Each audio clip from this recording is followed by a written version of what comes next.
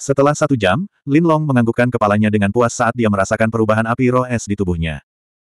Sekarang, Ice Spirit Fire jelas merupakan tubuh terkuat. Awalnya, dia ingin mencari inti binatang lain yang mirip dengan Flame Armored Bull. Dia tidak berharap mendapatkan api roh langsung dari pemimpin geng serigala abu-abu, Sitian. Tentu saja, hal yang paling berharga tetaplah teknik penjarahan tanpa akhir. Dengan teknik ini, akan ada lebih banyak cara untuk mendapatkan Spirit Vires di masa depan. Lin Long berpikir sendiri sambil berdiri dan mencoba menguji kekuatan tubuh terkuat. Kemudian, dia menggunakan teknik bela diri paling biasa untuk memukul pilar batu di sampingnya. Pilar batu, yang membutuhkan tiga orang untuk memeluknya dan terbuat dari bahan yang sangat keras, segera membeku menjadi balok es setelah menerima serangan ini. Yang lebih aneh lagi adalah ada nyala api putih aneh yang menyala di permukaan balok es. Setelah dua tarikan napas, bagian tengah pilar batu yang terkena justru berubah menjadi pecahan es putih dan jatuh dari udara. Dalam keadaan normal, teknik bela diri paling biasa ini paling banyak bisa mematahkan pohon besar. Tapi sekarang, hal itu mampu menyebabkan serangan destruktif pada pilar batu yang sangat keras itu. Jelas sekali bahwa ini adalah hasil karya tubuh terkuat Ice Spirit Fire. Setelah mengangguk puas, Lin Long keluar dari ruangan batu. Ketika dia berjalan keluar, Lin Long menyadari bahwa orang-orang di kota Simeng, tanpa memandang usia atau jenis kelamin, sedang masuk ke halaman geng serigala abu-abu yang setengah hancur. Mereka bersorak kegirangan. Jelas sekali, serangan yang dialami geng serigala abu-abu membuat mereka sangat bahagia. Pada saat ini, Lin Long melihat beberapa orang berjalan menuju pintu masuk ruang bawah tanah. Lin Long tidak berniat mengungkapkan bahwa dialah yang membunuh pemimpin geng serigala abu-abu, jadi dia diam-diam meninggalkan halaman. Selanjutnya, Lin Long tinggal di kota Simeng selama sebulan sebelum berangkat. Selama periode waktu ini, kekuatannya telah mencapai tingkat kelima dari alam master bela diri. Adapun teknik tubuhnya, itu juga telah mencapai tingkat ketiga dari alam master bela diri. Dia sangat puas dengan kecepatan ini. Dia juga meluangkan waktu untuk mempelajari Liontin Giok yang dia peroleh dari Ibu Xiaoya. Namun, dia tidak mendapatkan hasil apa pun, tetapi dia bahkan lebih yakin bahwa ada sesuatu yang tersembunyi dalam pola Liontin Giok itu. Tujuan Lin Long selanjutnya adalah tempat bernama Ngarai Punggung Hitam di luar dua kota. Itu adalah tempat di mana ketiga negara bertemu. Itu juga merupakan tempat di mana tiga barisan pegunungan besar berpotongan. Karena medannya yang berbahaya dan banyaknya binatang buas yang kuat, secara bertahap wilayah ini menjadi tanah tak bertuan yang tidak dipedulikan oleh ketiga negara. Karena itu, banyak pejuang yang dicari oleh beberapa negara atau sekte kuat berkumpul di sini. Seiring berjalannya waktu, tempat ini lambat laun menjadi makmur. Kemakmuran tersebut menarik lebih banyak orang untuk datang ke sini. Meski tidak ada hukum atau disiplin di sini, masih banyak pedagang yang mempertaruhkan nyawanya untuk datang ke sini demi uang. Tentu saja, setelah bertahun-tahun pembangunan, terdapat batasan-batasan tertentu. Namun pembatasan tersebut hanya sebatas pasar. Begitu Anda meninggalkan pasar, tidak ada yang peduli apakah Anda hidup atau mati. Kekuasaan yang menguasai pasar ini disebut Hall of Cloud. Dikatakan bahwa kekuatan ini sangat kuat, begitu kuat sehingga beberapa sekte kuat tidak berani memprovokasinya. Karena itu, ngarai punggung hitam secara bertahap menjadi tempat diam-diam keberadaan beberapa negara dan sekte besar. Pasar ngarai Black Ridge tidak membatasi identitas seseorang. Selama seseorang membayar sejumlah emas tertentu, maka dia bisa masuk, apa pun identitasnya. Karena itu, ia menjadi lebih populer di kalangan prajurit yang tidak bisa melihat terangnya hari. Banyak harta karun yang tidak bisa dijual di tempat lain juga dikumpulkan di sini. Oleh karena itu, pasar di sini dikenal juga dengan nama pasar gelap. Dapat dikatakan bahwa itu terkenal di seluruh benua langit campuran. Alasan mengapa Lin Long datang ke sini adalah karena dia ingat bahwa selama periode waktu di kehidupan sebelumnya, banyak prajurit telah menemukan tanah harta karun dengan api spiritual tersembunyi di dekatnya. Api spiritual akhirnya jatuh ke tangan seorang pejuang yang kuat. Menurut legenda, alasan para pejuang ini menemukan tempat ini adalah karena telah beredar peta harta karun di pasar ini. Karena Lin Long tidak jauh dari sini, dia secara alami datang untuk mencoba peruntungannya untuk melihat apakah dia bisa mendapatkan peta harta karun. 122. Bang, bang, bang. Pada saat ini, tanah mulai bergetar di tengah suara tersebut. Kemudian, beberapa suara gemuruh terdengar dari segala arah. Binatang buas ada di sini, binatang buas ada di sini. Jangan berisik, jangan panik, berdirilah di tengah dengan patuh. Semuanya, perhatikan untuk melindungi nyonya muda. Mendengar suara seperti itu, orang-orang di sekitarnya menjadi semakin kacau. Ada yang menangis, ada yang berteriak, tapi kebanyakan dari mereka adalah auman marah para seniman bela diri. Dalam kekacauan seperti itu, banyak kuda yang bergegas keluar dari karavan, sementara sebagian besar kudanya dipukul hingga pingsan oleh para seniman bela diri. Kuda yang menarik kereta Linlong secara alami telah dibuat pingsan oleh Linlong. Namun, Linlong jelas tidak berniat menyia-nyiakan energinya, jadi dia tetap berada di gerbongnya yang sudah berhenti bergerak. Adapun kusirnya, dia sudah lama bersembunyi di suatu tempat. Aura yang kuat dan familiar membuat Lin Long merasa bahwa serangan mendadak ini berasal dari sejenis binatang buas yang dikenal sebagai kera bersenjata panjang. Kera jenis ini tingginya lebih dari 10 kaki dan lebar 10 kaki. Itu seperti batu besar yang bergerak, dan jika berjalan akan menyebabkan tanah bergetar. Kera raksasa bertangan panjang tidak hanya berukuran besar, namun kekuatannya juga sebanding dengan master bela diri di tahap menengah. Selain itu, tidak hanya ada satu kera raksasa bertangan panjang yang mengelilingi mereka, tapi setidaknya tujuh atau delapan. Bahkan tanpa keluar dari gerbong, Linlong bisa mendengar suara gemerisik pepohonan yang dirobohkan oleh kera raksasa bersenjata panjang. Tentu saja, jika hanya kera raksasa bertangan panjang ini, mereka hanya akan menimbulkan sedikit masalah bagi para seniman bela diri. Namun, segalanya tidak sesederhana itu, karena Linlong tahu bahwa kera raksasa bersenjata panjang tidak akan menyerang manusia secara berkelompok, apalagi serangan yang terorganisir dan teratur seperti ini. Satu-satunya kemungkinan adalah kera raksasa bersenjata panjang ini berada di bawah kendali Bistamer yang kuat. Oleh karena itu, serangan ini bukanlah serangan sederhana yang dilakukan oleh binatang, melainkan bencana yang disebabkan oleh manusia. Memang benar, apa yang terjadi selanjutnya membuktikan dugaan Linlong. Ini karena ketika para seniman bela diri dari karavan menahan kera raksasa bersenjata panjang, setidaknya selusin seniman bela diri tiba-tiba menyerang dari hutan sekitar. Seniman bela diri karavan bukanlah Linlong, jadi mereka tidak mengetahui kemungkinan seperti itu. Oleh karena itu, mereka tertangkap basah, dan beberapa prajurit langsung membunuh mereka saat masuk ke karavan. Seniman bela diri ini terbunuh saat terlihat, dan dalam sekejap, jeritan terdengar dari mana-mana di karavan. Selain para penggarap yang menjaga karavan, sebagian besar orang di karavan tersebut adalah orang-orang biasa. Oleh karena itu, mereka langsung dibunuh oleh pihak lain. Lindungi nona muda, lindungi nona muda. Selain teriakan, suara yang paling dekat dengan Lin Long adalah kalimat ini. Lin Long tahu bahwa itu adalah suara pemimpin gendut itu. Meskipun pria gendut itu gemuk, dia memiliki tingkat kekuatan tertentu. Kekuatannya lebih tinggi dari kebanyakan seniman bela diri yang menjaga tempat itu. Dia berada di alam master bela diri LV5. Meskipun itu adalah bencana yang disebabkan oleh manusia, Lin Long merasa bahwa orang-orang itu bukanlah bandit biasa. Selain ahli yang bisa mengendalikan begitu banyak kera berlengan panjang, pada saat itu, ada dua aura kuat dari Raja Bela Diri yang bergegas menuju kelompok pedagang. Oleh karena itu, dalam keadaan seperti itu, bagaimana mungkin Lin Long terlibat dalam konflik antara kedua kekuatan ini? Satu-satunya pemikirannya adalah duduk di gunung dan menyaksikan pertarungan harimau.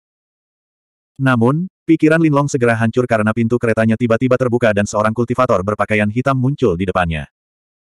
Setelah meliriknya, kultivator itu tidak berkata apa-apa dan langsung melayangkan telapak tangannya ke arahnya. Jelas sekali, dia salah jika menganggap Linlong sebagai orang biasa. Telapak tangan biasa Linlong telah menghancurkan semua meridian di tubuh kultivator berpakaian hitam.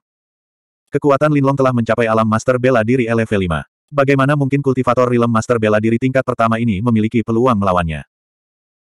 Pada saat yang sama ketika dua kekuatan besar bertabrakan, kereta yang diduduki Linlong juga hancur berkeping-keping. Pada saat itu, segala sesuatu di sekitarnya memasuki bidang penglihatan Linlong. Adegan itu sangat kacau. Beberapa penggarap dari kelompok pedagang mengepung kera bertangan panjang, sementara yang lain bertarung dengan orang-orang berpakaian hitam. Tujuh atau delapan pembudidaya mengepung dua gerbong yang bisa dikatakan satu-satunya gerbong yang tidak rusak di tempat kejadian. Salah satu dari tujuh atau delapan kultivator adalah pemimpin yang gemuk. Pada saat itu, wajahnya dipenuhi kedengkian. Dia seperti orang yang benar-benar berbeda dari pria gemuk serakah sebelumnya. Di sekitar tujuh atau delapan pembudidaya, ada juga delapan atau sembilan orang berpakaian hitam yang mengelilingi dan menyerang mereka. Kedua kelompok orang tersebut memiliki kekuatan yang sama dan sulit untuk menentukan pemenang dalam sekejap. Linlong tahu bahwa orang yang mengendalikan situasi pertempuran bukanlah orang-orang itu, melainkan medan perang terdekat. Pada saat itu, ada dua martial lord berpakaian hitam yang mengelilingi dan menyerang seorang lelaki tua pendek. Melihat lelaki tua itu, Linlong merasa sedikit terkejut. Dia pernah melihat lelaki tua itu sebelumnya, dan dia juga bisa melihat bahwa kekuatannya tak terduga. Namun, dia benar-benar tidak berharap dia tidak berada dalam posisi yang dirugikan di bawah pengepungan dua martial lord. Dapat dikatakan bahwa orang yang sangat bebas pada saat itu adalah Linlong karena tidak ada satupun pembudidaya berpakaian hitam yang punya waktu untuk menghadapinya. Tentu saja, Orang seperti itu pernah ada, tetapi dia sudah mati. Beberapa prajurit dari karavan pedagang melihat Lin Long. Namun, mereka tidak mengenal Lin Long. Selain itu, Lin Long tidak menunjukkan kekuatan yang hebat. Oleh karena itu, tatapan mereka hanya melewati Lin Long. Sekelompok orang bertempur sampai langit gelap. Saat Lin Long berpikir untuk pergi, seseorang tiba-tiba keluar dari hutan di depannya. Itu adalah seorang pria parubaya yang terlihat halus, dan dia bahkan memegang kipas di tangannya. Melihat orang itu, tatapan Lin Long membeku. Orang itu juga seorang martial lord, dan kekuatannya jelas berada di atas dua martial lord berpakaian hitam lainnya. Namun, orang itu tidak memiliki niat untuk membantu dua orang lainnya melawan lelaki tua itu. Sebaliknya, dia perlahan berjalan menuju dua gerbong di tengah. Melihat pemandangan ini, raut wajah lelaki tua pendek itu tiba-tiba berubah. Setelah kekuatan dahsyat memukul mundur kedua orang yang mengepungnya, dia meraung ke arah pria parubaya yang halus itu, Yuan Yi, kamu bajingan, kamu berani datang dan berurusan dengan nona muda, apakah kamu tidak takut petir menyambarmu sampai mati? Surga! Pria parubaya yang halus itu melambaikan kipasnya dan tertawa keras. Dong tua, orang bijak tunduk pada keadaan. Yuan Yi, aku akan membunuhmu. Setelah melolong marah, lelaki tua pendek itu segera bergegas menuju Yuan Yi. Namun, dia dengan cepat dihentikan oleh dua martial lord berpakaian hitam. Meskipun dia meraung lagi dan lagi, dia tidak bisa menembus kepungan mereka. Untuk sesaat, dia hanya bisa menyaksikan Yuan Yi perlahan berjalan menuju dua gerbong di tengah. Melihat Yuan Yi berjalan mendekat, delapan atau sembilan pembudidaya berpakaian hitam yang mengelilingi gerbong dan menyerang tanpa henti segera mundur. Setelah berjalan beberapa langkah mendekat, Yuan Yi berhenti, lalu berkata kepada pemimpin gendut dan para penggarap lainnya yang masih berjaga di depan gerbong, gemuk minggir. Aura kuat di tubuh Yuan Yi membuat tubuh si gendut bergetar entah kenapa. Namun, setelah mengertakkan gigi, dia mengucapkan satu kata pun. Tidak. Meskipun para penggarap lainnya tidak berbeda dengan si gendut, mereka juga menjaga dengan ketat di sekitar gerbong. 123. Akui, minggir. Pada saat itu, suara ringan dan menyenangkan datang dari dua gerbong paling depan. Suara seperti ini membuat orang gemetar.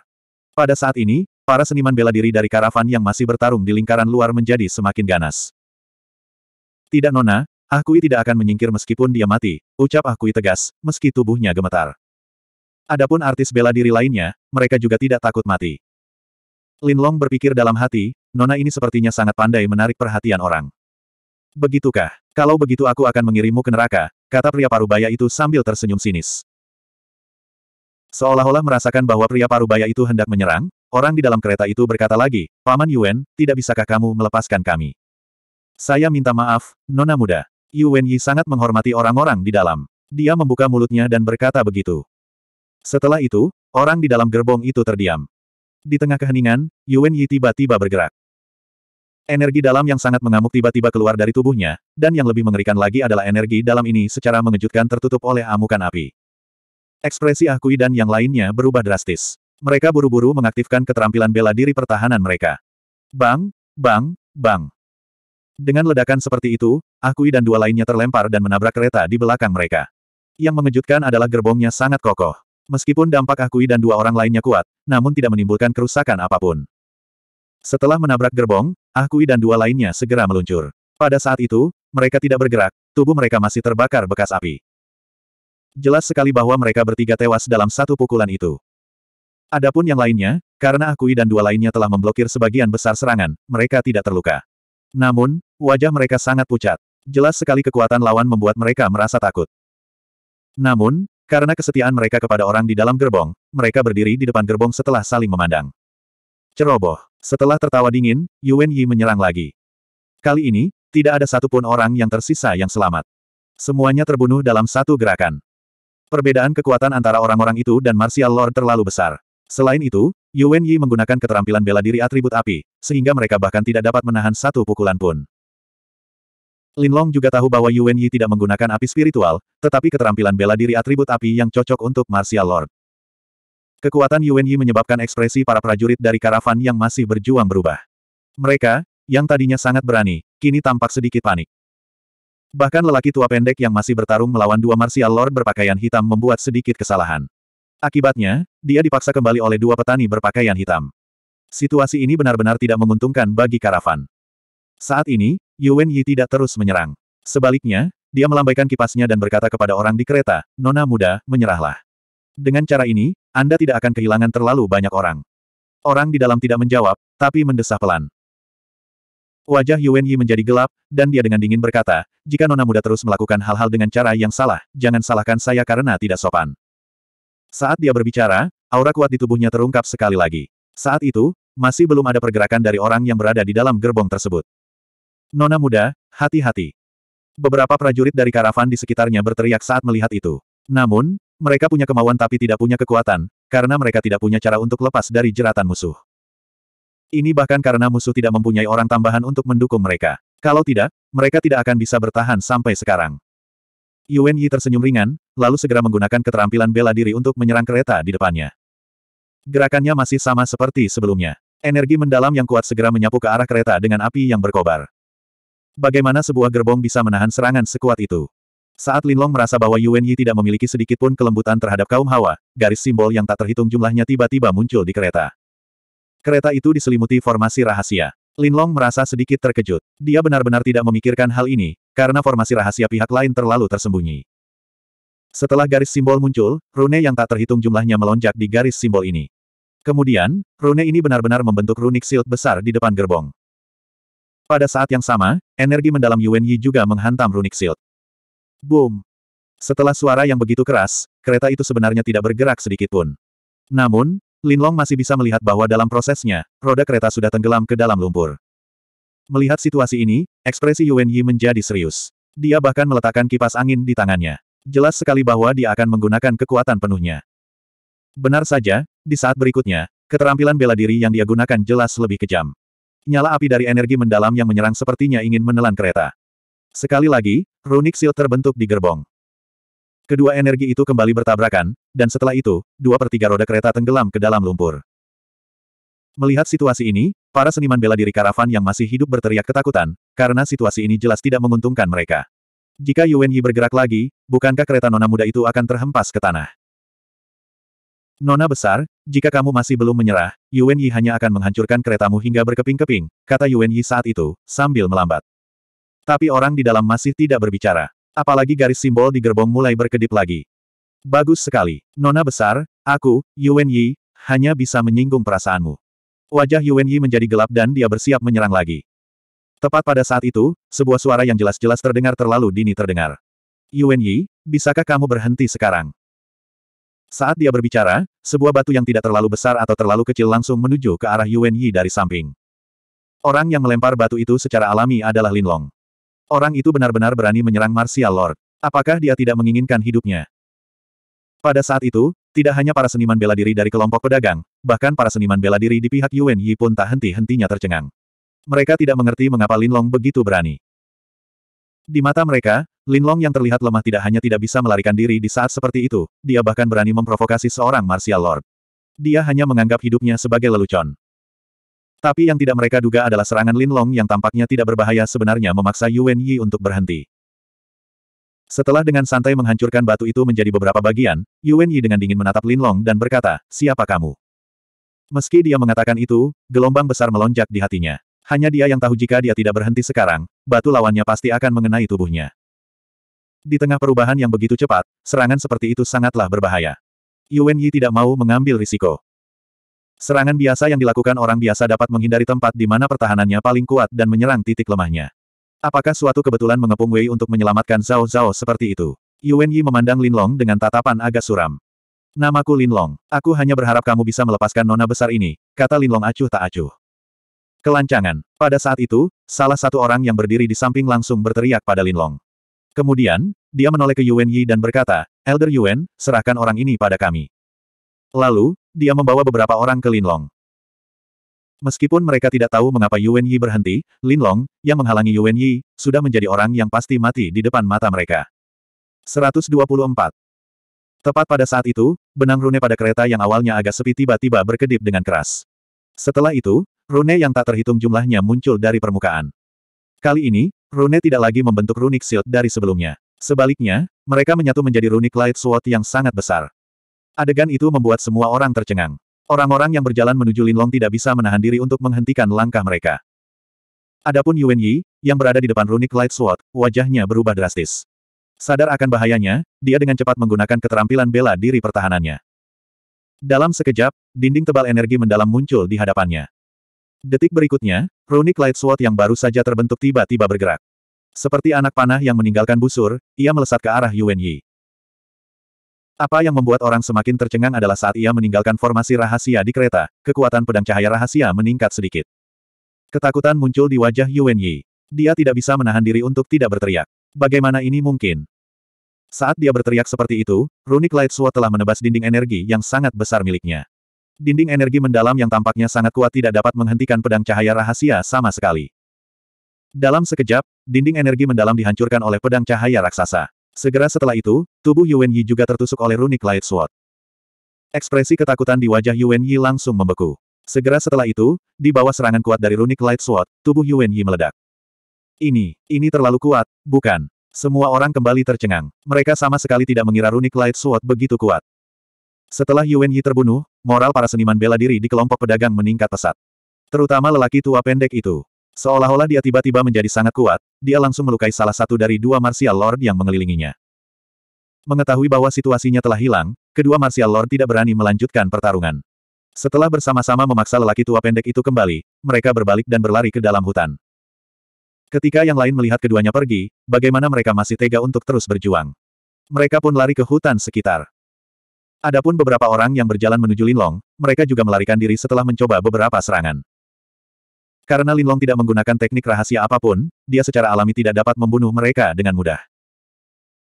Satu-satunya yang tersisa hanyalah kera raksasa berlengan panjang, tetapi mereka semua terbunuh dalam waktu singkat di bawah pengepungan prajurit karavan yang tersisa.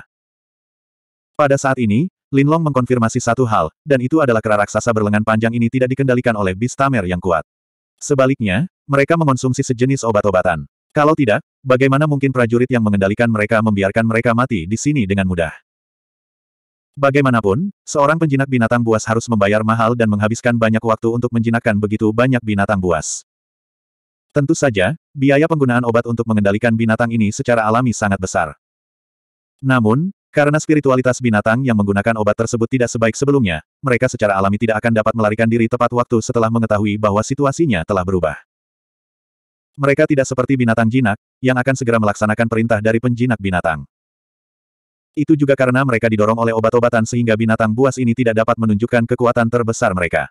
Kalau tidak, para pejuang ini tidak akan mampu bertahan lama. Setelah mendorong kembali kedua Martial Lord, lelaki tua pendek itu bergegas menuju kereta. Namun, dia tidak langsung membuka pintu. Sebaliknya, dia dengan cemas berkata dari luar, Nona besar, kamu baik-baik saja. Terima kasih, Penatua Dong. Aku baik-baik saja, kata orang di dalam. Namun, suaranya jelas tidak seringan sebelumnya. Kata-katanya juga lemah, dan jelas dia terluka parah. Ini harusnya menjadi guru jiwa. Melihat itu, sedikit senyuman muncul di wajah Linlong. Alasan kenapa dia mengambil risiko menyinggung Martial Lord untuk membantu mereka adalah karena dia menduga mereka adalah Spirit Master. Hanya Spirit Masters yang bisa menciptakan formasi rahasia yang begitu kuat di kereta seperti ini. Spirit Masters juga merupakan tipe Rune Masters. Apa yang berbeda dari Rune Master adalah Spirit Master sangat lemah dalam hal kekuatan mereka sendiri. Tanpa bantuan formasi rahasia, kemungkinan besar bahkan seorang pejuang dengan kekuatan rata-rata dapat membunuh seorang guru jiwa. Itu juga karena tubuh mereka lemah sehingga ketika guru jiwa menggunakan rune master yang begitu kuat, dia menerima serangan balik dari formasi rahasia dan terluka parah. Keuntungan dari Spirit Masters adalah Divine Sense dan kecerdasan mereka jauh melampaui rune master normal. Tidak hanya itu, bakat mereka dalam rune tidak bisa dibandingkan dengan semua rune master. Kekuatan seorang guru jiwa bukanlah sesuatu yang bisa digambarkan dalam adegan sebelumnya. Ini hanya bisa dianggap sebagai puncak gunung es. Dalam kehidupan sebelumnya, Master jiwa terkuat yang pernah dilihat Lin Long dapat menggunakan formasi rahasia untuk membunuh ahli puncak Martial Saint. Seorang ahli Martial Saint, itu bahkan lebih kuat dari Kaisar Wu di kehidupan sebelumnya. Namun, ahli Martial Saint itu bahkan tidak memiliki kekuatan untuk melawan di bawah serangan guru jiwa. Justru karena guru jiwa begitu kuat, Lin Long memberikan bantuan dalam situasi di mana terdapat perbedaan kekuatan yang begitu besar. Kenyataan membuktikan bahwa pertaruhannya benar. Kekuatan guru jiwa secara langsung membunuh Yuan Yi yang tampaknya sangat kuat. Ada alasan lain mengapa Lin Long memberikan bantuan, Spirit Master sangat langka. Sangat jarang sehingga menakutkan. Dalam kehidupan sebelumnya, jumlah orang yang benar-benar bisa menjadi Master Jiwa di seluruh benua Mutian tidak melebihi 100. Dalam situasi seperti itu, apa alasan Lin Long tidak memberikan bantuan? Setelah mendengar kata-kata nona muda, lelaki tua pendek, Penatua Dong, segera mengerutkan alisnya. Nona muda, lukamu sudah sangat parah. Bagaimana kamu bisa mengatakan bahwa kamu baik-baik saja? Tetua Dong, jangan khawatirkan aku. Aku hanya perlu minum pil. Aku akan baik-baik saja. Penatua Dong juga mengatakan bahwa kita harus bergegas. Untuk menemui mereka, orang di dalam melanjutkan. Baiklah, tapi nona muda, kamu adalah tulang punggung kami. Kamu harus menjaga tubuhmu dengan baik. Penatua Dong meninggalkan kereta dengan agak tak berdaya. Namun, setelah melihat sekeliling sebentar, dia berjalan menuju Linlong. Saat ini, pintu kereta di belakang nona muda tiba-tiba terbuka dengan suara berderit. Segera setelah itu, seorang pemuda berwajah pucat keluar dari kereta.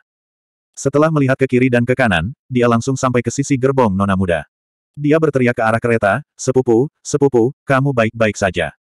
Sepupu, aku, aku baik-baik saja, jawab Nona muda. Untunglah kamu baik-baik saja, baguslah kamu baik-baik saja. Setelah menjawab, dia melihat ke kiri dan ke kanan lagi. Setelah menemukan sosok Elder Dong, dia segera berlari ke arahnya. Pada saat ini, Penatua Dong juga kebetulan berjalan di depan Linlong. Anak muda, aku benar-benar harus berterima kasih. Jika bukan karena kamu, hari ini akan menjadi bencana. Penatua Dong berkata kepada Linlong dengan rasa terima kasih yang sebesar-besarnya. Dia bisa melihat jika serangan ringan Linlong tidak memberikan waktu pada Nona Muda, mungkin Nona Muda tidak akan bisa menggunakan jurus terkuatnya sebelum keretanya hancur. Jika itu benar-benar terjadi, mereka semua pasti sudah menjadi tawanan Yuan Yi. 125. Elder Dong, apa yang kalian lakukan? Bagaimana bisa kalian membiarkan seseorang menyerang sepupu kita secara diam-diam? Untungnya, sepupu kita kuat. Kalau tidak, bukankah kita semua akan mendapat masalah? Pada saat ini, pemuda berwajah pucat itu berjalan ke punggung Penatua Dong dan menggerutu. Diam. Mendengar kata-katanya, ekspresi Penatua Dong tiba-tiba berubah. Dia menoleh dan bergegas ke arahnya. Pemuda berwajah pucat itu tidak menyangka Penatua Dong akan meneriakinya. Dia tertegun sejenak sebelum bereaksi. Kemudian, dia berteriak, Tetua Dong, apakah keluarga Heku menjadikanmu komandan penjaga yang meneriakiku? Dong tua tidak mengatakan apa pun saat ini, tetapi tubuhnya tiba-tiba memancarkan aura yang kuat. Dengan bunyi, kaca, kaca, sebuah batu seukuran wajah seseorang langsung diremukan olehnya dan tenggelam jauh ke dalam lumpur di bawahnya. Seolah merasakan kemarahan tetua Dong, ekspresi pemuda berwajah pucat itu berubah jelek. Dia tidak berani memprovokasi penatua Dong lagi. Namun, dia masih mendengus sebelum berbalik dan pergi. Tuan muda, saya telah membodohi diri saya sendiri. Pada saat ini, penatua Dong menoleh dan berkata kepada Linlong. Kemudian, dia berkata dengan nada ramah, Tuan muda, harap tunggu sebentar. Saya akan meminta mereka merapikan gerbongnya. Kita mungkin akan berangkat sebentar lagi. Anda tidak akan ditahan, bukan? Tentu saja tidak, kata Linlong sambil tersenyum tipis. Jika bukan karena guru jiwa itu, dia pasti sudah lama pergi. Tentu saja, dia secara alami tidak akan mengucapkan kata-kata seperti itu. Setelah meminta maaf kepada Linlong, Penatua Dong akhirnya pergi. Selama kurun waktu tersebut, mereka yang masih hidup, kecuali para pemuda berwajah pucat, semuanya mulai menyibukkan diri dengan tugasnya.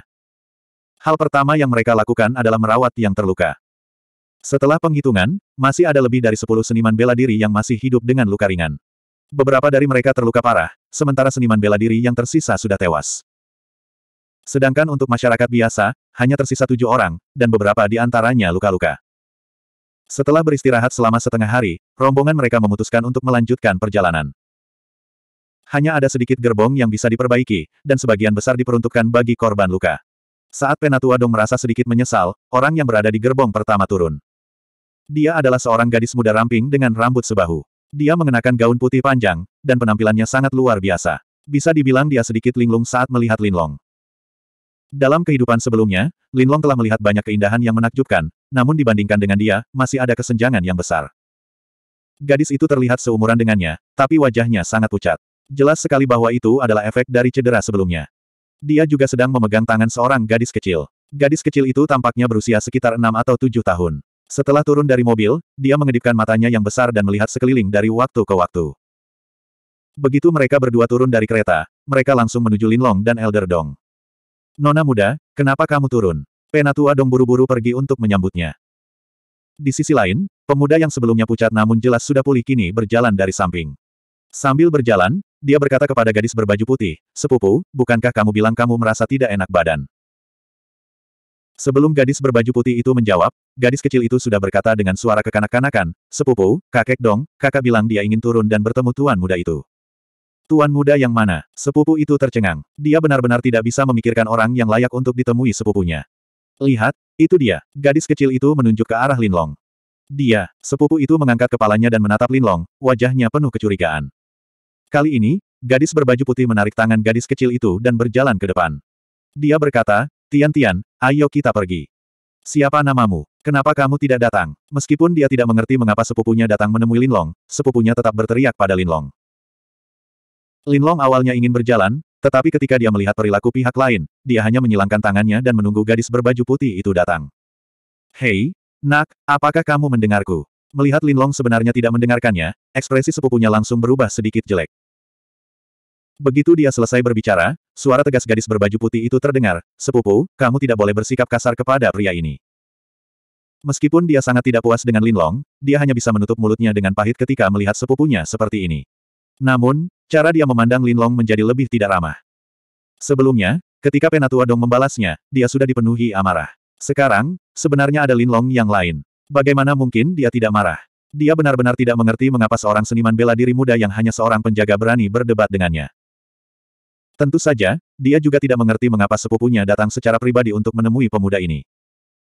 Karena dia tetap berada di dalam gerbong, dia tidak mengetahui keseluruhan proses yang terjadi.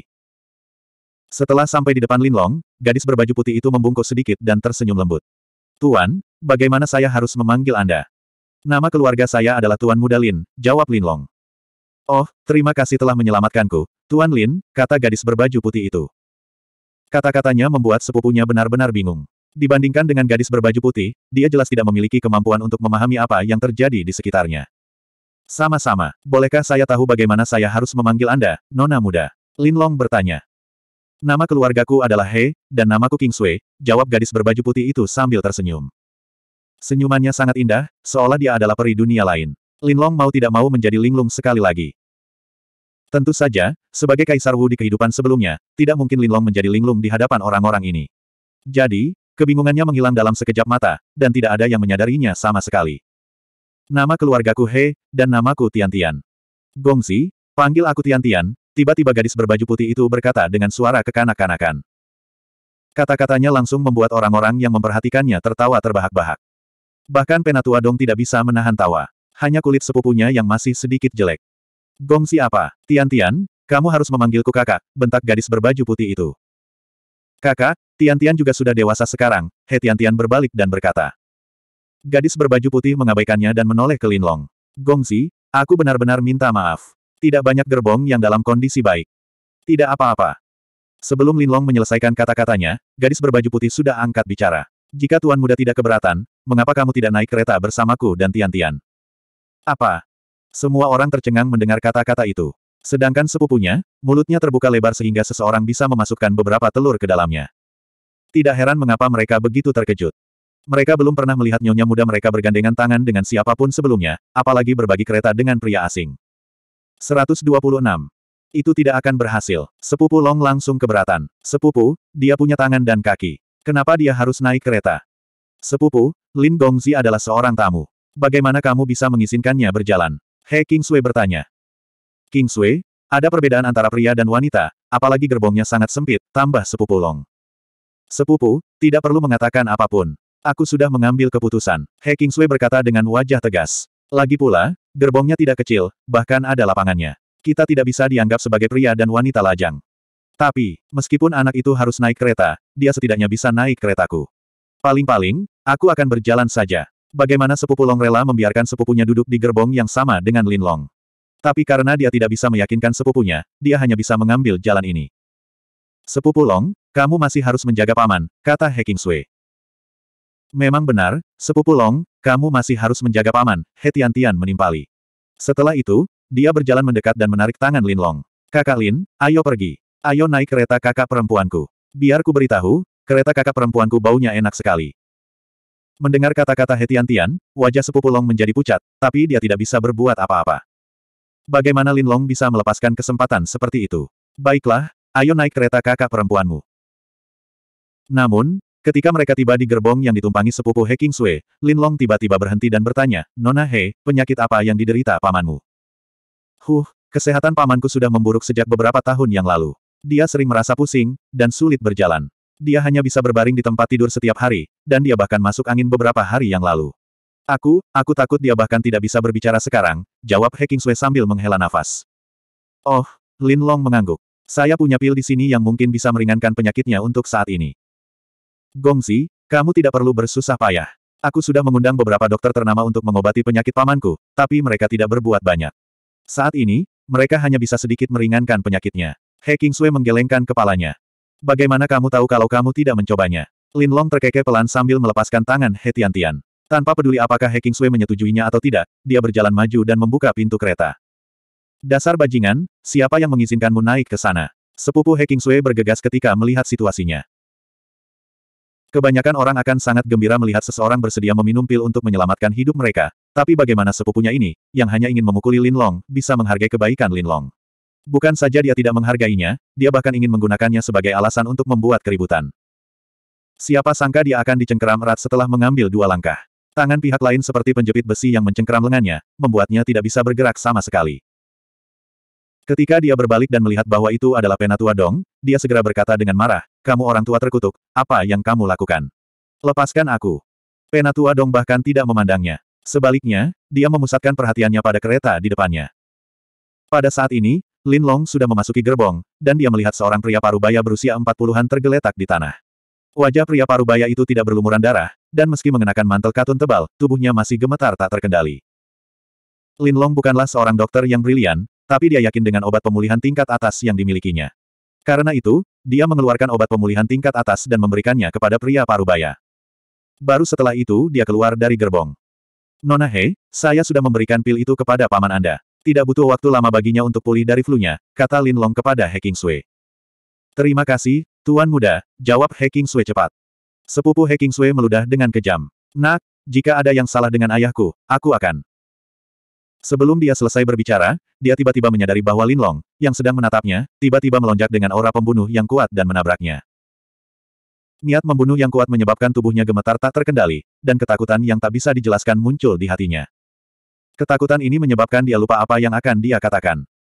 Pada saat Lin Long mengalihkan pandangannya, perasaan itu juga tiba-tiba menghilang. Meskipun dia masih menyimpan dendam mendalam terhadap Lin Long, dia tidak berani mengucapkan sepatah kata pun. Penatua Dong berada tepat di samping sepupu He Sui, jadi dia secara alami memperhatikan reaksi He Sui. Dia tidak bisa menahan diri untuk tidak menatap Lin Long dengan heran. Meskipun dia tidak memiliki pengalaman yang sama dengan sepupu He Sui, dia masih bisa merasakan kekuatan yang ditunjukkan Lin Long pada saat itu. Apakah bocah ini hanya seorang master bela diri? Pikiran seperti itu terlintas di benaknya. Setelah itu, Lin Long mengikuti He Sui dan He Tian-Tian ke dalam kereta He Sui.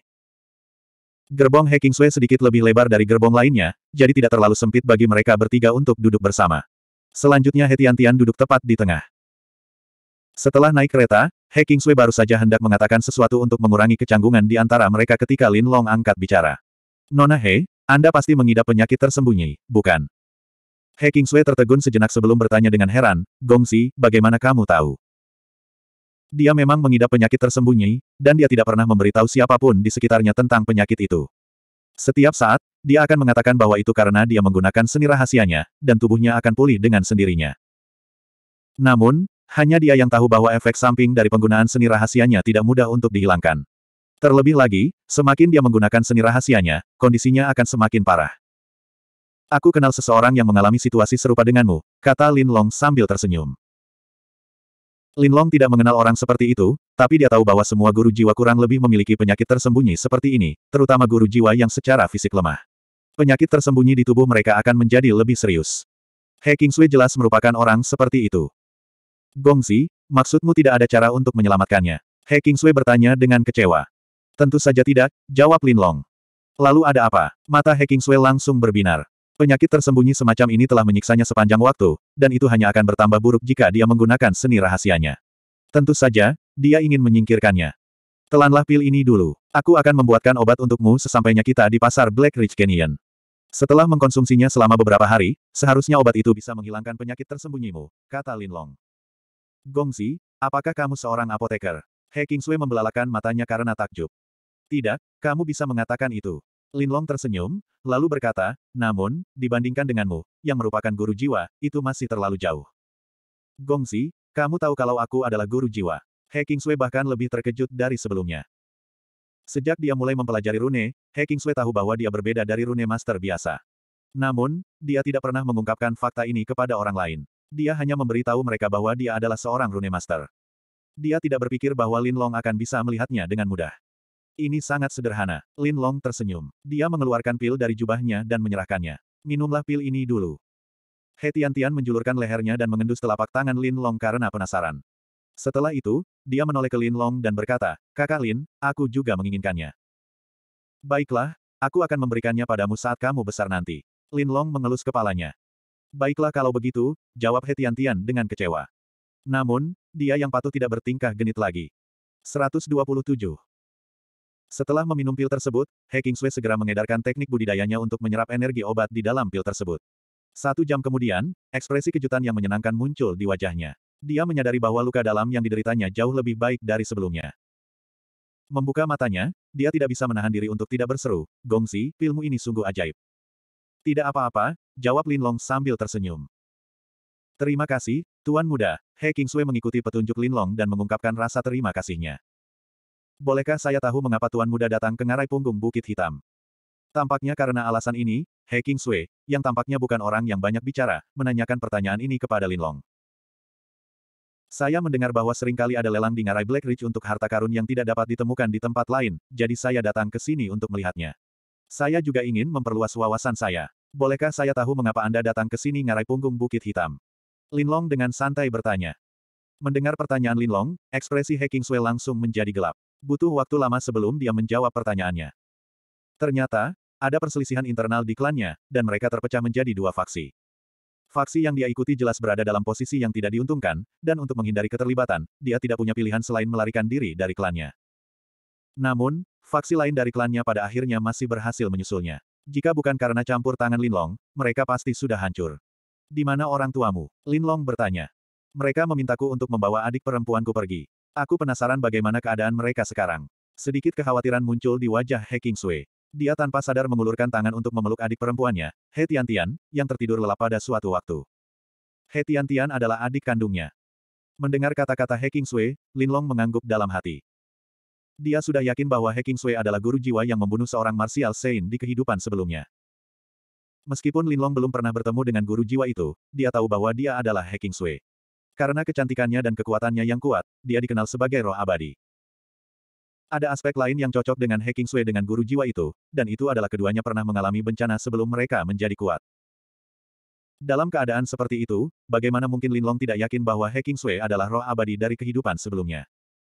Tentu saja, kekuatan Hacking Sui saat ini masih sangat lemah.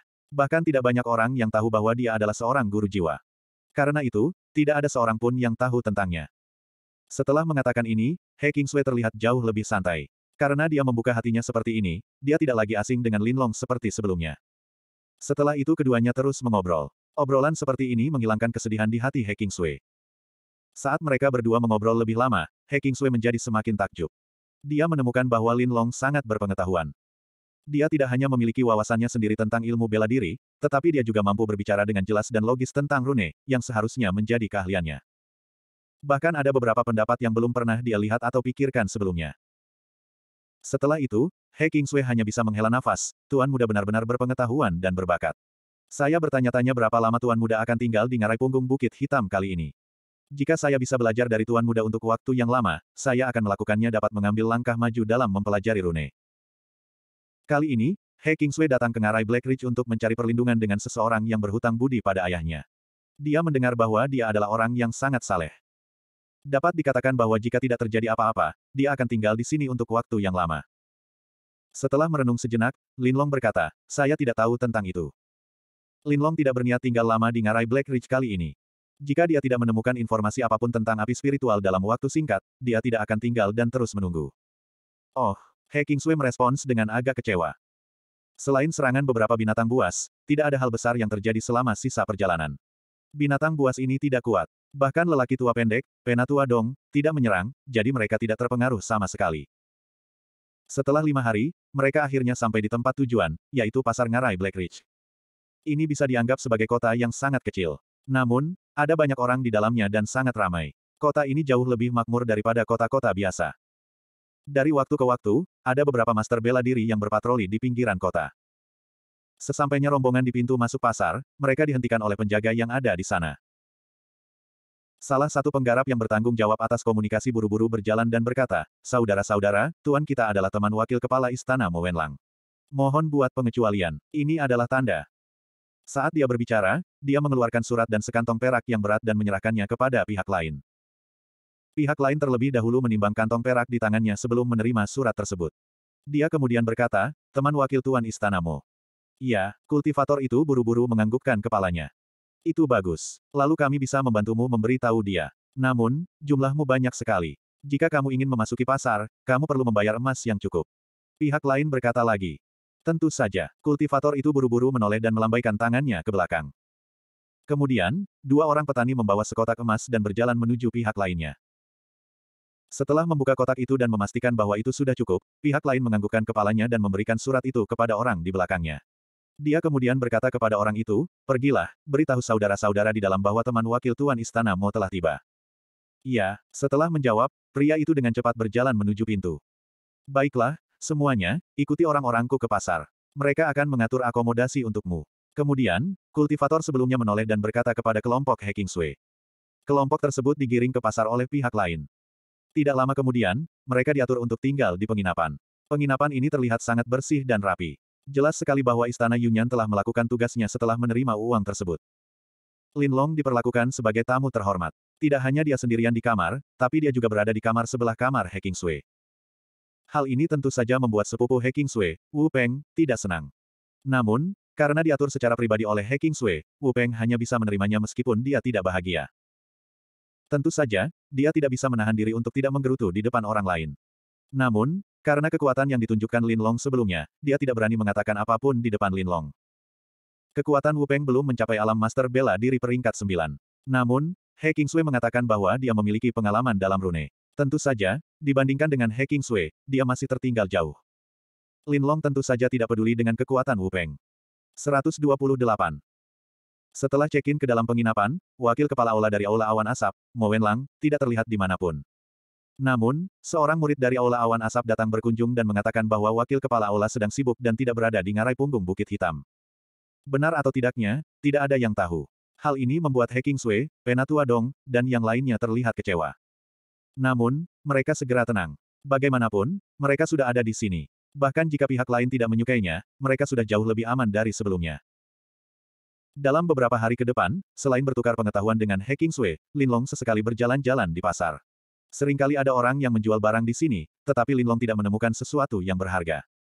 Jelas sekali, pelelangannya belum dimulai. Hanya sedikit orang yang mau mengambil sesuatu yang berharga untuk dijual. Lelang sepertinya digelar sebulan sekali. Frekuensi ini sebanding dengan standar beberapa kota besar.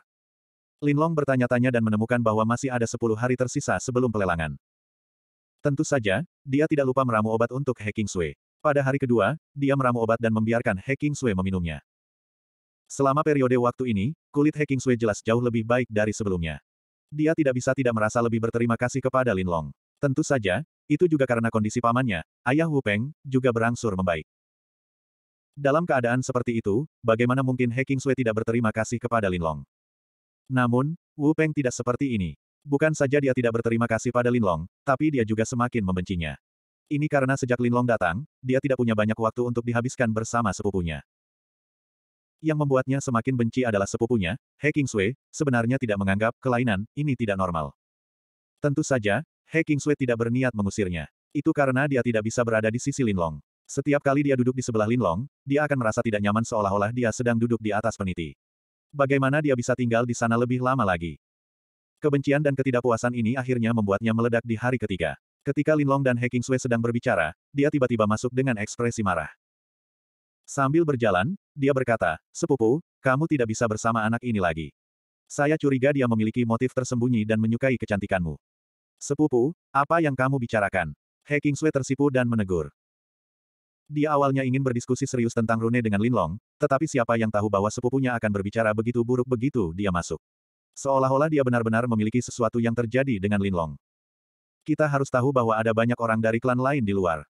Jika mereka mendengar kata-kata seperti itu, bukankah mereka salah berpikir? Kemudian, dia buru-buru menjelaskan, kami bertukar wawasan kami dalam rune. Bertukar pengetahuan rune. Huff, sepupu, jangan berbohong padaku. Jika orang ini tahu cara mempelajari rune, maka babi bisa memanjat pohon. Wu Peng masih berkata dengan marah. Menurutnya, orang seperti Lin Long yang seharusnya fokus pada seni bela diri tidak akan tahu apa-apa tentang rune. Bahkan jika dia melakukannya, dia tidak bisa dibandingkan dengan dia, yang telah mempelajari rune sejak dia masih muda. Oh, bagaimana kalau aku tahu rune? Linlong meliriknya dan berkata. Kamu tahu rune? Wu Peng memelototi Linlong. Ketika berbicara tentang rune, kepercayaan dirinya melonjak, jadi dia tidak takut untuk menatap mata Linlong. Tentu saja, kata Linlong. Baiklah, kalau begitu bersainglah denganku. Jika kamu dapat menandingi sepersepuluh dari diriku, maka aku akan menganggap bahwa kamu mengetahui rune. Jika kamu bahkan tidak dapat menandingi sepersepuluh dari diriku, maka aku menyarankan kamu untuk menjauhlah dari sepupuku. Wu Peng berkata dengan dingin. Bagaimana jika aku bisa menandinginya? Lin Long berkata dengan lemah. Jika aku bisa menandinginya, Wu Peng tertegun sejenak karena dia tidak pernah memikirkan pertanyaan ini. Setelah beberapa saat, dia berkata dengan penuh kebencian, jika aku bisa menandinginya, aku tidak akan mengincarmu lagi. Hanya saja taruhan ini sepertinya terlalu kecil. Linlong menggelengkan kepalanya. Lalu apa yang kamu inginkan? Wu Peng memelototinya. Bagaimana kalau aku mengalahkanmu? Kamu mengalahkanku. Sebelum Linlong selesai, Wu Peng sudah tertawa terbahak-bahak seolah-olah dia baru saja mendengar lelucon paling lucu di dunia. Setelah tertawa beberapa saat, dia berkata dengan serius, jika kamu mengalahkanku, aku akan meninggalkan tim ini. Jika kamu kalah, kamu akan melakukan hal yang sama. Dia sangat percaya diri.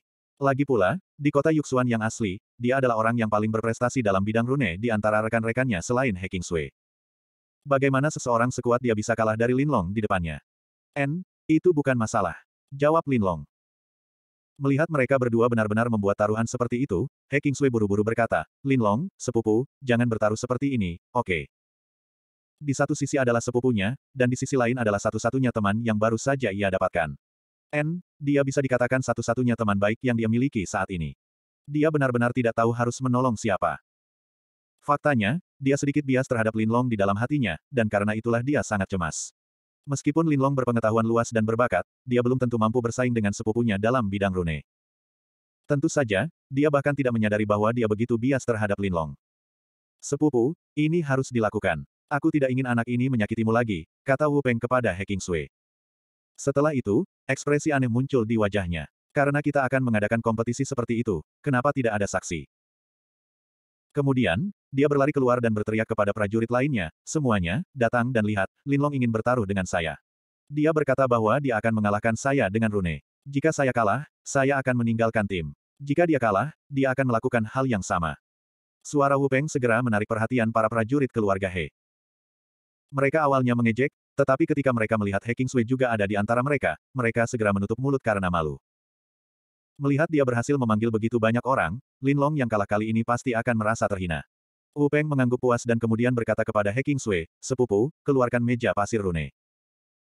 Meskipun dia merasa sedikit tidak berdaya, melihat Lin Long tidak berniat menolak, Heking Sui hanya bisa mengeluarkan meja pasir rune. Setelah mengambil meja pasir rune dari tangan sepupunya, Wu Peng semakin percaya diri. Dia langsung meletakkan meja pasir rune di atas meja di depannya dan kemudian berkata kepada Lin Long, Nak, bagaimana kamu ingin berkompetisi? Sastra atau bela diri? Ayo bertarung. Lebih cepat, kata Linlong acuh tak acuh. Yah, karena kamu ingin cepat mati, aku akan memenuhi keinginanmu. Wu Peng mencibir, lalu menoleh ke He Kingsway dan berkata, Sepupu, jika kamu menghitung sampai tiga, kompetisi akan resmi dimulai. Oke, He Kingsway mengangguk tanpa daya. Melihat pertarungan rune akan segera dimulai, para penonton di samping juga melebarkan mata mereka. Sejujurnya, sebagian besar dari mereka juga telah mempelajari manipulasi rune, tetapi mereka tahu bahwa level mereka sangat rendah. Mereka tidak bisa dibandingkan dengan Hacking Sui dan Wu Peng, yang bekerja keras dalam bidang rune. Lin Long juga tahu rune, sungguh mengejutkan. Wu Peng sangat kuat, tidak ada satupun rekannya di kota Yusuan yang menjadi lawannya. Saya khawatir Lin Long bukan tandingannya. 129. 321. Ketika Hacking Sui mengucapkan setiap kata, Wu Peng segera mulai mengerahkan rasa ilahi dan membentuk segel tangan. Wu Peng sangat percaya diri. Oleh karena itu, dia berpura-pura melihat Lin Long saat dia melakukan semua ini. Yang mengejutkannya adalah Lin Long tidak melakukan apa pun saat ini. Sebaliknya, dia hanya duduk di sana. Mungkinkah anak ini tidak tahu apa-apa? Apakah dia hanya berusaha tampil mengesankan? Saat pemikiran ini terlintas di benak Wu Peng, dia menjadi lebih percaya diri. Orang lain di sekitarnya juga memiliki pemikiran yang sama dengan Wu Peng. Adapun Hacking Sui, dia jelas sedikit gugup. Mungkinkah Lin Long hanya memiliki sedikit kemampuan dalam berkata-kata, namun sebenarnya itu hanyalah bantal bersulam yang terlihat bagus namun tidak berguna. Saat pemikiran ini muncul di benak semua orang, rune yang dikendalikan Wu Peng telah muncul dari meja pasir. Itu adalah tanda emas. Begitu rune ini muncul, ia segera mengambil bentuk manusia dan mulai berjalan di depan Lin Long. Lin Long, jangan bilang kalau kamu bahkan tidak bisa memanggil rune. Jika itu masalahnya, selama kamu menundukkan kepala dan meminta maaf kepada sepupuku, serta kita semua di sini, aku mungkin akan memaafkanmu dan membiarkanmu terus berada di tim. Melihat rune Lin Long tidak muncul setelah sekian lama, Wu Peng tidak bisa menahan diri untuk tidak mengejeknya. Saat ini, sedikit kekecewaan muncul di wajah Hacking Sui. Jika Lin Long benar-benar tidak bisa memanggil rune, itu pasti akan menjadi ejekan baginya. Namun, pada saat ini, senyuman di wajah Wu Peng tiba-tiba membeku. Ini karena dia menemukan bahwa rune biru berbentuk manusia tiba-tiba muncul di meja pasir. Rune ini berkedip-kedip dengan cahaya, dan sebenarnya tidak sedikit pun lebih lemah dari rune emasnya. Bagaimana orang ini memanggil tanda biru? Semua orang tercengang, dan bahkan He Kingsui sedikit membuka mulut kecilnya karena terkejut. Ini karena sebelum rune biru dipanggil, Lin Long tidak melakukan gerakan apa pun. Dia mampu memanggil rune tanpa membentuk segel tangan apa pun. Ini adalah sesuatu yang belum pernah mereka lihat sebelumnya. Tentu saja, Wu Peng tidak akan mengakui bahwa dia lebih lemah dari Lin Long dalam aspek ini. Setelah mendengus dingin, dia langsung mengendalikan runenya untuk menyerang rune Lin Long. Dia ingin membunuh Lin Long sebelum Lin Long bisa menstabilkan pijakannya. Untuk membunuh lawannya dengan satu serangan, dia langsung menggunakan jurus yang paling dia kuasai, memadatkan rohnya menjadi pedang. Ketika rune emas berbentuk manusia melesat ke arah pihak lain, cahaya di tubuhnya tiba-tiba mengembun menjadi pedang ringan. Pedang ringan ini tampak luar biasa, dan langsung menyelimuti seluruh meja pasir. Benar saja, ada bakat di dalamnya. Dia mampu menggunakan roh terkondensasi sebagai pedang dengan begitu bebas, dan auranya sangat besar. Melihat pemandangan ini, para penggarap di sekitarnya hanya bisa mengangguk. Meskipun mereka tidak menyukai Wu Peng, kekuatan yang ditunjukkan Wu Peng membuat mereka mengaguminya. Karena tidak ada satupun dari mereka yang mampu melakukannya. He Kingsui berpikir bahwa kondensasi pedang ilahi milik sepupunya telah meningkat lagi. Pada saat ini, dia bahkan lebih mengkhawatirkan Lin Long. Saat ini, dia sama sekali tidak menyadari perasaannya sendiri. Pada saat kritis ini, Wu Peng, yang dengan bangga menilai Lin Long, sedikit terkejut. Dia menemukan bahwa Lin Long sebenarnya sedang tersenyum saat ini. Terlebih lagi, senyuman seperti itulah yang membuatnya merasa sangat tidak nyaman. Bocah, aku akan menghancurkanmu dengan gerakan ini. Mari kita lihat apakah Anda masih memiliki wajah untuk tersenyum. Wu Peng berpikir dengan penuh kebencian.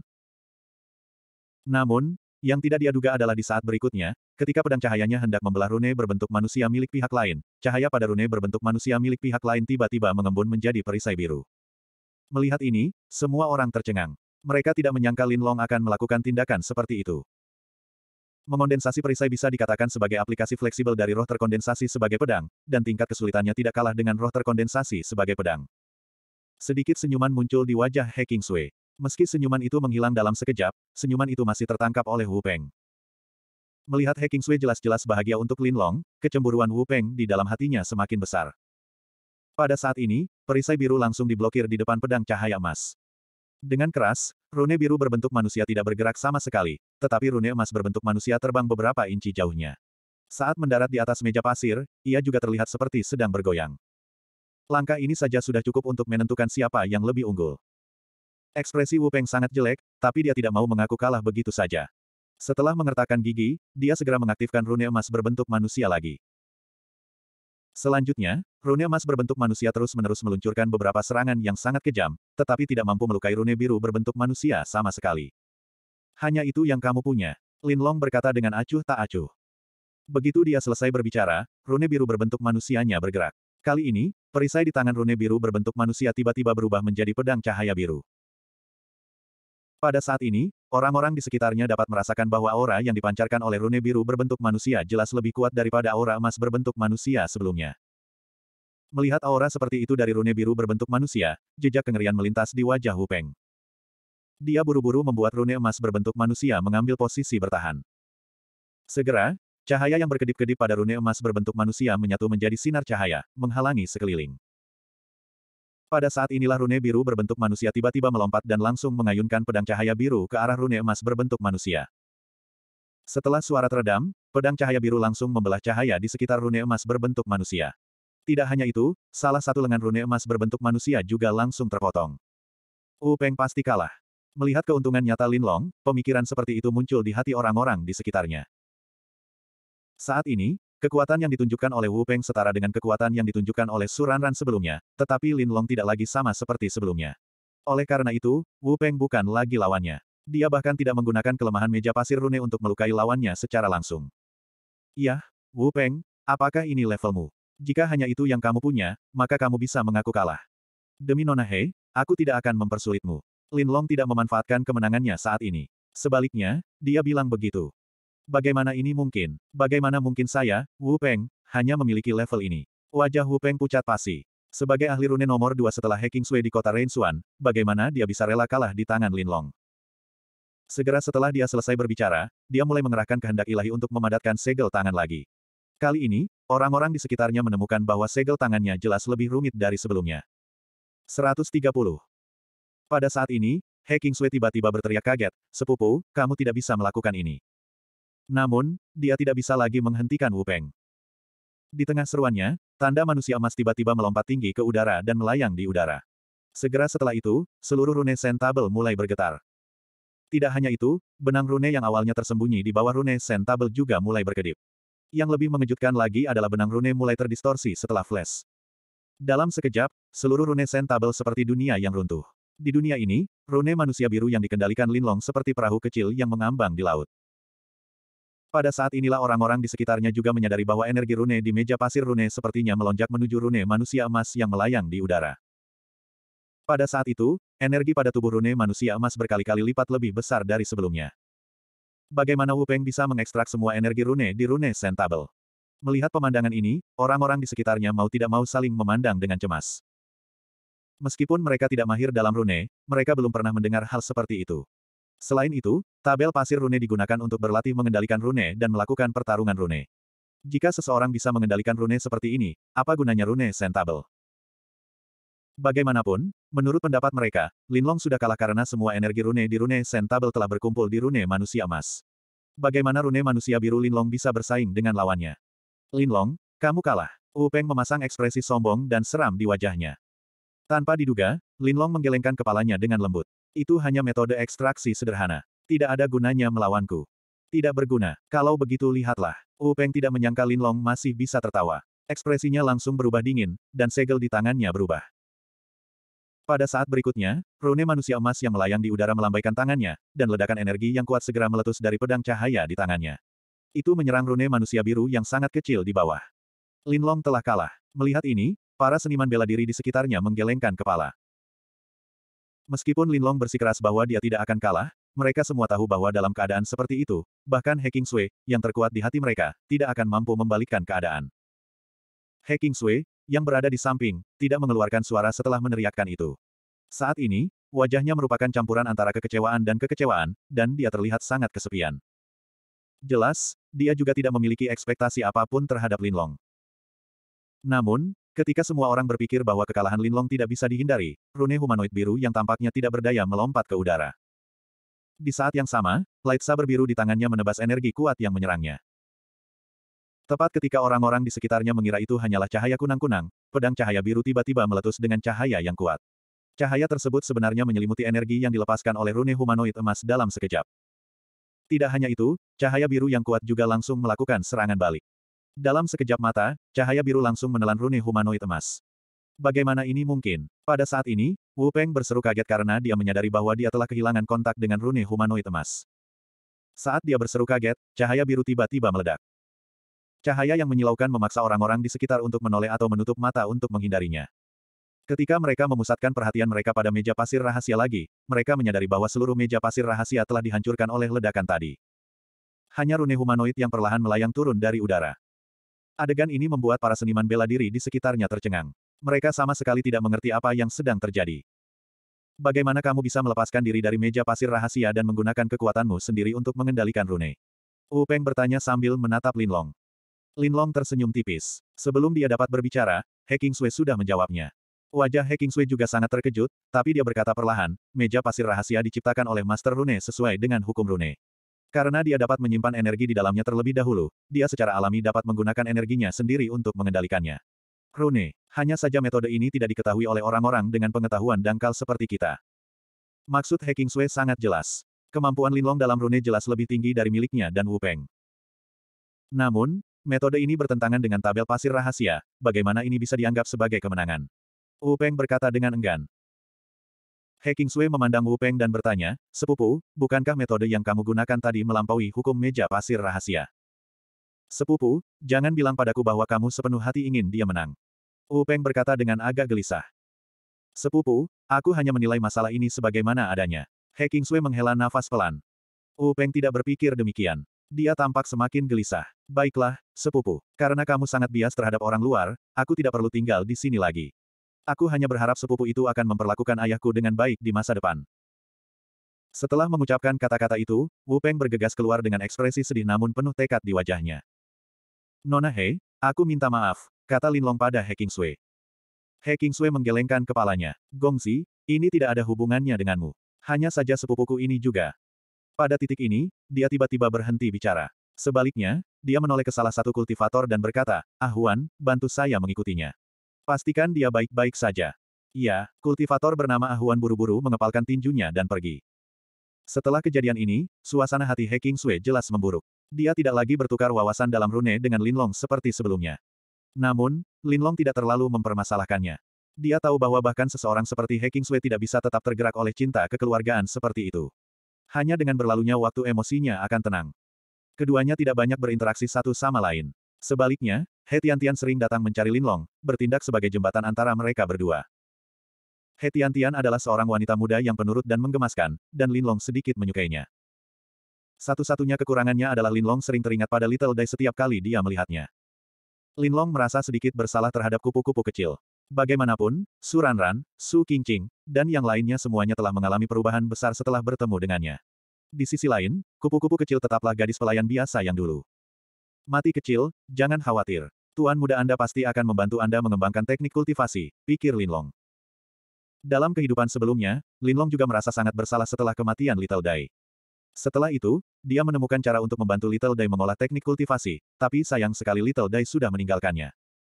Tentu saja, Linlong tidak akan melupakan masalah ini. Namun, mengingat kekuatannya saat ini, masih sulit baginya untuk menemukan cara mengembangkan teknik kultivasi. Karena itu, dia hanya bisa menunda masalah ini kembali. Tentu saja, Linlong tidak akan melupakan ini bagaimanapun caranya. Dia bahkan akan mengingatkan dirinya sendiri akan hal itu. Jadi, yang perlu dia lakukan sekarang adalah meningkatkan budidayanya.